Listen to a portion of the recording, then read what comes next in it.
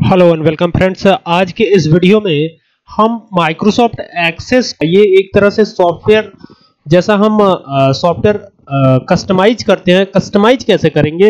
वो सारी बातें जानेंगे। तो चलिए स्टार्ट करते हैं। सबसे पहले आपको ओपन करना है माइक्रोसॉफ्ट एक्सेस मेरे पास 2007 भी है और 2016 भी है। मैं इस समय 2016 को ओपन कर रहा हूँ यहाँ से।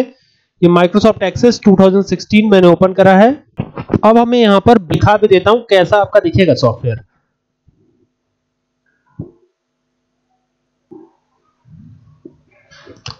यहाँ पर देख सकते हैं, एक प्रोडक्ट डिटेल है, ये देख सकते हैं, ठीक है? और ये क्वांटिटी है, ठीक है? लेकिन हमें क्या करना है, हम डायरेक्ट बनाएँगे फॉर्म तो यहाँ से चलते हैं ब्लैंक फॉर्म पे। ये आपको ब्लैंक फॉर्म पे आ जाना है। अब जब ब्लैंक फॉर्म पे आप आएँगे तो ये कुछ इस तरह से आपको दिखेगा। अगर कोई डिटेल इसमें लेना चाहते हैं तो आप पहले डिज़ाइन व्यू पर आ जाइए। यहाँ से मैं डिज़ाइन व्यू पर आ जाता हूँ, ठीक है? और अब यहाँ पर हम शो टेबल्स पे जाएँगे। प्रोडक्ट डिटेल में जो आपको चाहिए प्रोडक्ट आईडी प्रोडक्ट नेम और प्राइस चाहिए मान लीजिए। ये ले लिया हमने ठीक है? इसमें चाहे तो आप आ, ये इस तरह से बैकग्राउंड इमेज वगैरह कुछ लगाना चाहते हैं या फिर कलर इसका बदलना चाहें तो वो कर सकते हैं बहुत ही आसानी के साथ। यहाँ से इसको बोल्ड बना लेता हूँ मैं। अब हमें क्या करना है? हमें इस पे क्लिक रखना है ठीक है? और इसे क्लोज कर दीजिए और आपको आना डिज़ाइन पे। यहाँ से प्रॉपर्टी शीट ओपन कर लेनी है। ये फॉर्म सिलेक्शन में रहना चाहिए। और प्रॉपर्टी शीट को ओपन कर लेना है, ठीक है? फॉर्म वन है। आप देखिए यहाँ पे फॉर्म वन इसमें, आ जाएगा, ये फॉर्म है।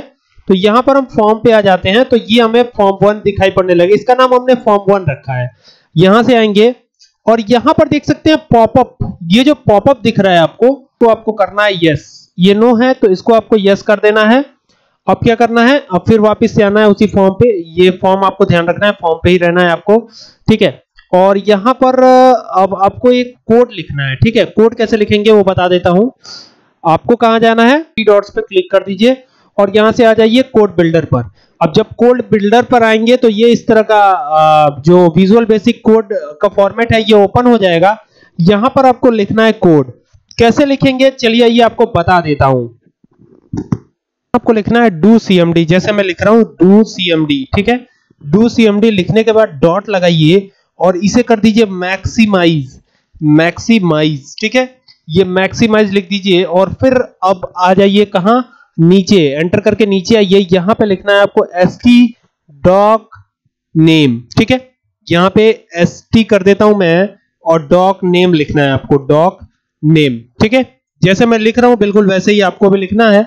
और डॉक नेम लिखने के बाद आपको लिखना है इज़ इक्वल टू अब आपके फॉर्म का नाम है फॉर्म वन तो यहाँ पे डबल कोट्स में लिखना है आपको फॉर्म वन ये लिख करके डबल कोर्स को क्लोज कर दीजिए और फिर यहाँ पर do cmd dot open form अब इसको ओपन करने की बारी।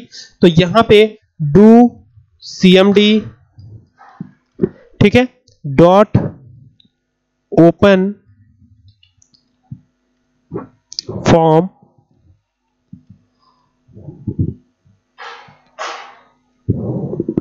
फिर यहाँ पर st और फिर यहाँ पे डॉक नेम ठीक है? डॉक नेम ये हमने कर दिया। इसके बाद आपको क्या करना है?